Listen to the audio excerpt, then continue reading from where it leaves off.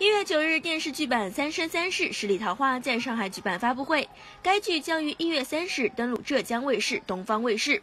当天，导演林玉芬携主演杨幂、赵又廷、张智尧、迪丽热巴、高伟光、张彬彬、于朦胧、王骁。朱旭丹、黄梦莹、赖艺、戴思等悉数出席。电视剧《三生三世十里桃花》讲述了杨幂饰演的青丘帝姬白浅与赵又廷饰演的九重天太子夜华，历经三段旷世情缘，终成眷属的动人仙恋情话。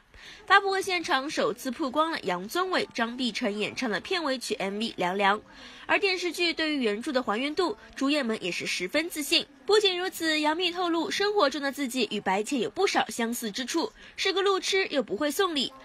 对对，就是因为我也是一个非常路痴的人，嗯嗯，然后我也不会送礼，所以我觉得看过小说的人都知道这一点。白浅有很多地方跟我本人是很像。嗯，哎，那你们在饰演这部剧的时候，觉得它跟小说的出入大吗？就是改编的会比？我觉得我们基本上还原了，还原了有书里面的所有的精神。啊，我我那时候跟导演还有 Mark，我们三个有一个群，就是专门用来聊那个小说还有剧本的那个东西，然后我们会经常找，就是导演会改好，然后改好了以后发到我们那个群里，然后我们就是在那儿。有一次，记得收工了以后还聊聊那个群，聊了很久。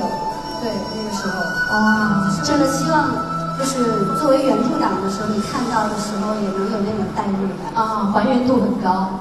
首次合作的两个人默契十足，合作之后，赵又廷更是赞叹《大秘密》很坦率。我呢，必须承认，就是我们在拍这个戏之前，我们俩从来没有过交集。